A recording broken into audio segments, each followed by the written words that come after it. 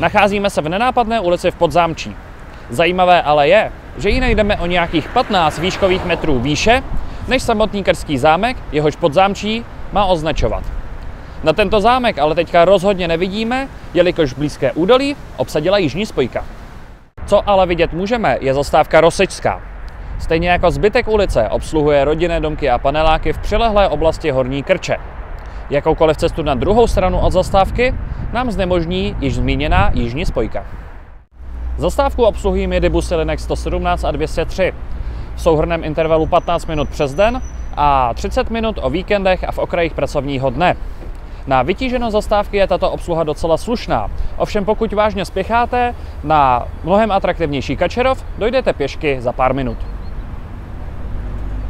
V historii se na Rosečské vystřídalo několik různých linek. Od roku 1974 ji na dlouhých 38 let obsluhovala linka 192, tehdy jezdící z Budějovické přes Rosečskou a Branickou ulici a dále přibližně jako dnešní 170 na Barandov. V roce 2012 převzala obsluhu této zastávky linka 121, která i dnes jezdí poblíž. Ta zde vydržela rok a poté byla vystřídána zvláštně vedenou linkou 293. Tu v roce 2016 nahradil dnešní svazek linek.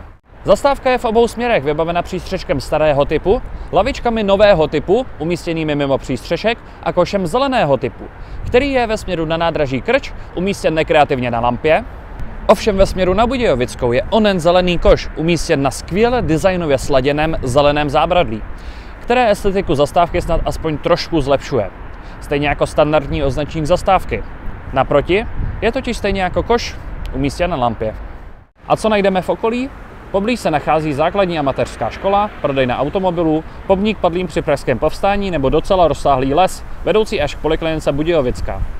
Pokud ale nejste třeba nadšení obdivovatelé protihlukových stěn, k východu z nichž tu taky vede cesta, nic víc zde nenajdete. Zajímavý je i fakt, že zastávka ve směru na Budějovickou není součástí chodníku, jako tomu bývá u drtivé většiny autobusových zastávek, nýbrž má vlastní chodník, který před i za zastávkou končí. Pro pěší pokračování kamkoliv jinam tedy musíte přejít na druhou stranu, kde již chodník existuje. A zajímavá je také délka nástupišť. Na to, že zastávku i historicky obsluhují pouze krátké autobusy a ani se tu v běžném provozu nestane, že se potkají dva či více autobusů jiných linek, mají nástupní hrany kolem 30 metrů. Takže třeba 9,5 metrové autobusy, které na těchto linkách můžete potkávat dnes, by se do zastávky vešly až tři za sebe. Na to, že zastávku využívá málo lidí, je poměrně slušně vybavena a velkoryse postavena. Svůj účel plní dobře a já tak můžu kritizovat pouze nezajímavé okolí, kvůli kterému bych vám její návštěvu nedoporučil a uděluji 43%.